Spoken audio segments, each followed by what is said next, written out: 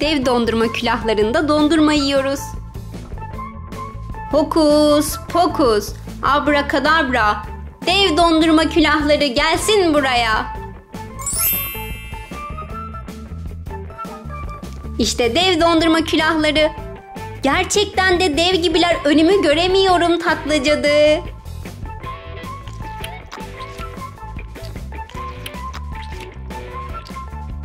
Dondurmacı Recep İvedik amca bana bir tane daha verir misin? Bu ha, parayla değil mi? Tabii ki veririm. Bak burada külahlar da var. Al bakalım.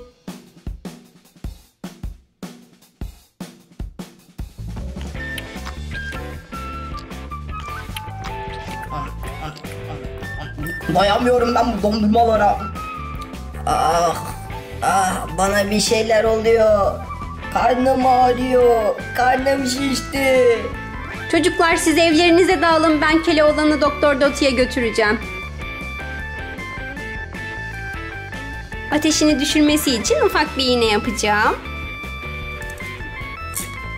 Elinde hafifmiş doktor hanım hiç canım acımadı. Hey arkadaşlar. Keloğlan, Kalyu, Sarışın Haydi, Mete. Ne dersiniz bir dondurmacı Recep İvedik'e gidip güzel bir dondurma yiyelim mi? Yiyelim bence süper fikirmiş. Bence de süper fikir. Hoş geldiniz çocuklar. Hoş bulduk dondurmacı Recep İvedik. Şahane dondurmalarım var. Hmm, biz de ününü çok duyduk geldik tabi. Hadi bize birer dondurma ver bakalım. Buyurun buyurun buyurun. Kaymaklı, çikolatalı dondurmalarım var. Buyurun buyurun buyurun.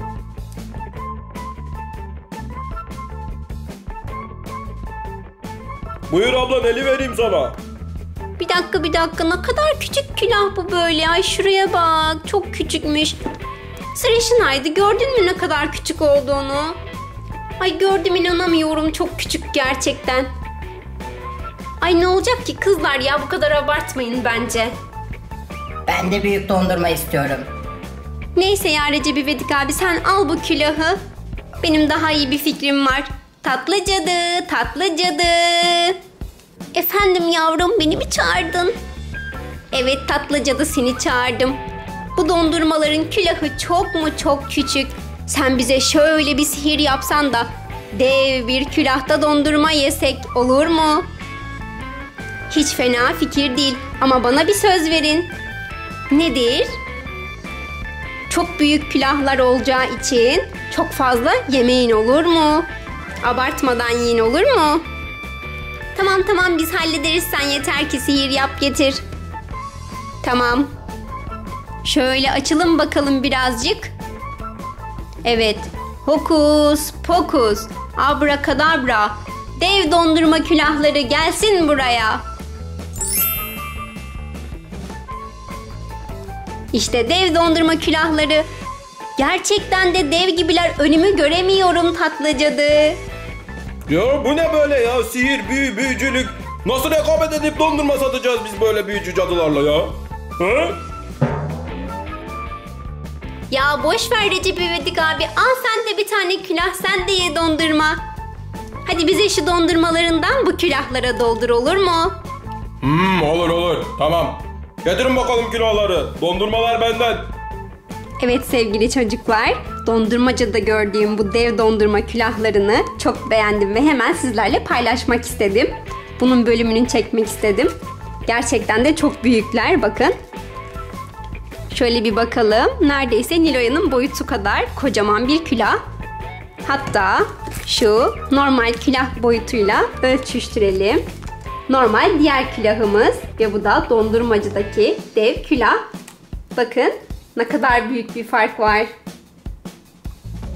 Değil mi?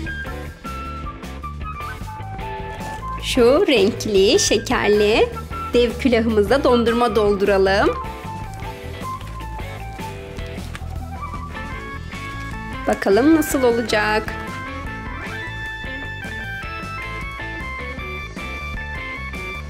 Dev gibi oldu gerçekten.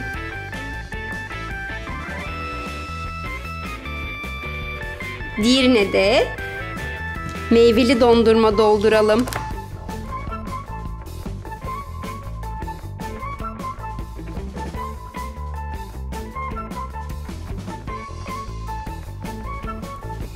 Alın bakalım.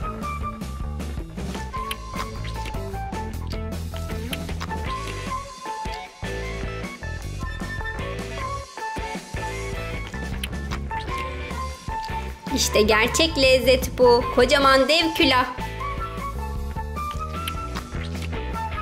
Hmm, ben de beğendim. Ağzıma burnuma bulaştı. Ben çok sevdim bu dondurmayı. Bir tane daha yiyebilir miyim? Bir tane daha. Dur sakin ol Keloğlan. Bu kadar çok yenmez. Ben, ben, bir tane daha yemek istiyorum. Recep amca. Dondurmacı Recep İvedik amca bana bir tane daha verir misin? Parayla değil mi? Tabii ki veririm. Bak burada külahlar da var. Al bakalım.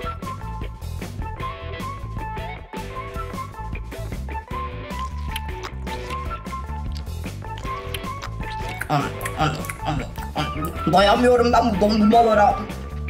Ah karnım ağrıyor. Fenalaştım galiba biraz. Ne yapsam fazla kaçırdım galiba dondurmayı. Ah bana bir şeyler oluyor. Of çocuklar ben size söylemiştim. Bu kadar çok abartmayın yerken diye. Ağzım burnum çikolata oldu. Böyle bir midem bulanıyor. Ne yapsak ki? Hadi seni hemen Doktor Doti'nin yanına uçurayım. He bir şey soracağım tatlı cadı.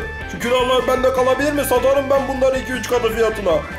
Of Recep İvedik ya. Kasap et derdinde, koyun can derdinde. Düşündüğün şeye bak. Al senin olsun. Teşekkür ederim. Çocuklar siz evlerinize dağılın. Ben Keloğlan'ı Doktor Doti'ye götüreceğim.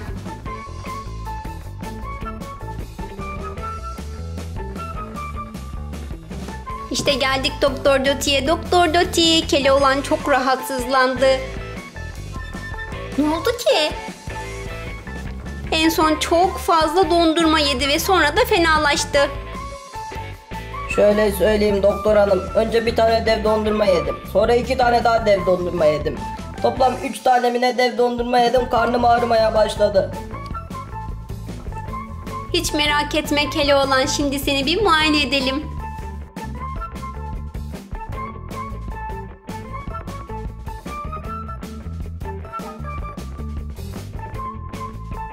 Öncelikle ateşini ölçelim. 37, 38, 39'a kadar dayanmış. Kulaklara bakalım.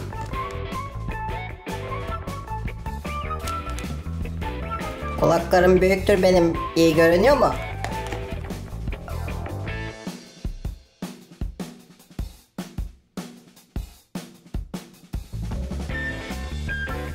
Kulaklar temiz görünüyor.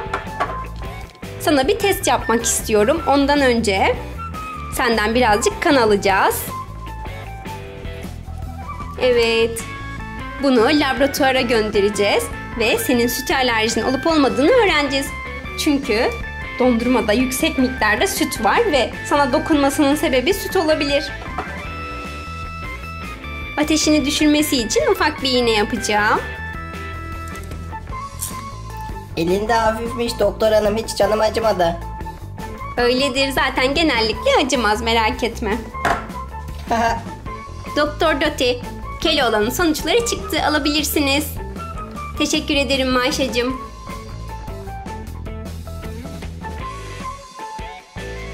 Evet Keloğlan tam tahmin ettiğim gibi görünüşe göre senin süt alerjin var. Daha dikkatli olmalısın sütlü ürünler yerken. Özellikle dondurmada aşırıya kaçmamalısın. Elbette peynirini, sütünü yemen, içmen gerekir. tamam tamam bu ağrım geçecekse harfiyen uyacağım dediklerine doktor Doti. Şimdi git ve birazcık istirahat et evinde. Emin olabilirsin sadece yatacağım. Ben onu götürürüm evine.